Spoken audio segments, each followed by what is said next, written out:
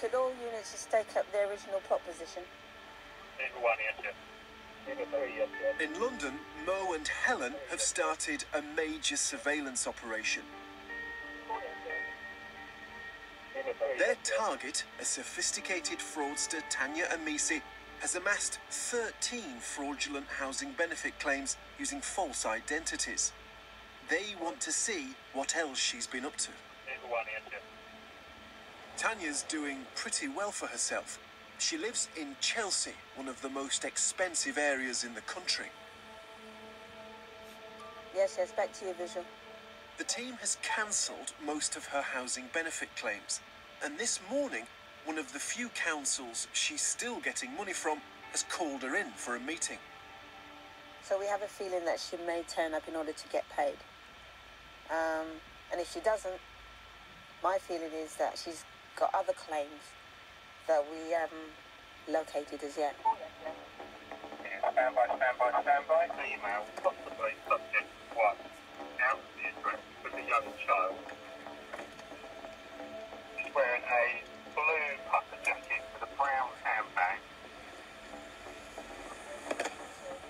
Heading towards Road. Way away from the stand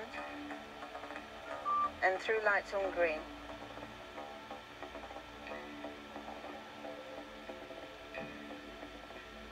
Yeah, just to confirm that Lima 2 is now uh, in the vicinity. Yes. Yes, yes, over to you, She drops her child off at school, but instead of going to the council for her meeting, she goes back home and stays there. She must have something else up her sleeve.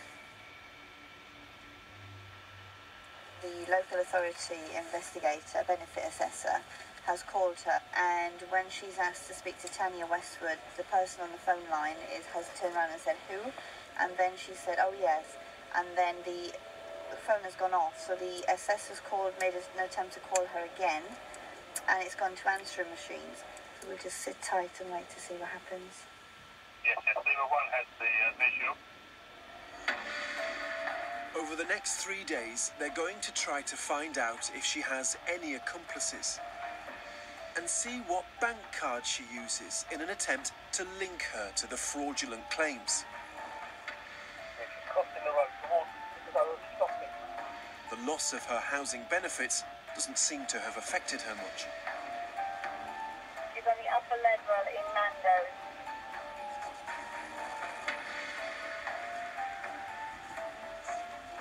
Can I confirm she's held at a bus stand across the road from Harrods? Please don't tell me she's going to Harrods. She's going to Harrods. She's shopping in um in Harrods. The subject is now walking through the cosmetic section on the ground floor. Yes, yes, she's walking to the children's development section. She's got a few bags. Her son's got a bag. They've been um having a great time. Yeah, relays in, in, in to the cinema. The surveillance links Tania to the bank accounts being used for fraud. The investigation also throws up another bank account they weren't aware of. This is um, a fraction of um, Tania Westwood, Tania Amisi's claims um, that we've got from some of the local authorities in London. It's three months on, and they've now built up a fuller picture of how Tania operates. Whilst we we're out on surveillance, she had actually had a live claim in the borough in the borough of Newham. It transpired that she took out a tenancy agreement with a private housing association. She then further sublet the flat to three other individuals, took deposits from them, and they were also paying her just over £500 a month rent, each of them. On top of that, she went back to Newham Council and claimed housing benefit. By stealing the housing benefit and then subletting the flat, she was making up to £3,000 a month on a single property. It's a scam, she repeats over and over, and always ends the same way. The tenants get thrown out.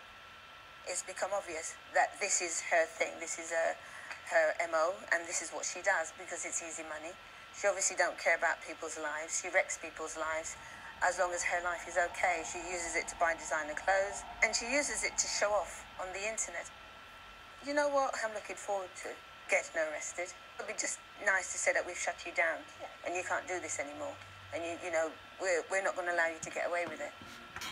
With a mountain of evidence against her, the plan is to arrest Tania Amisi in the next few days.